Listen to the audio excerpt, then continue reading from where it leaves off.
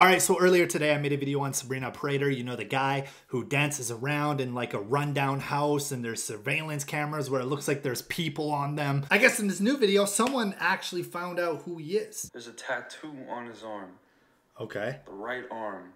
Can't really see it, but what do you Now look got? at this guy. Same tattoo? Tattoo.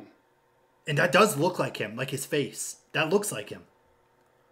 And this is 100% him. Yeah, yeah, this is Sabrina Prater. He owned a construction company and he lives in the same place this woman does. Yeah, this One is him. time in my li- see, work together as a family. The kids cleaned up their own rooms and their messes. I pray to God his kids aren't living in the house.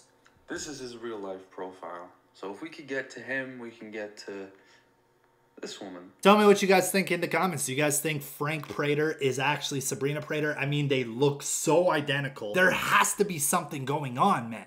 There's no way he has kids living in that house. And if he does, I really hope someone calls child services. So if you own a construction company, you make a boatload of money. Let's be honest. If you own a construction company, you're pretty rich. There's no way someone who owns a construction company would be living in that house. There's something wrong, man.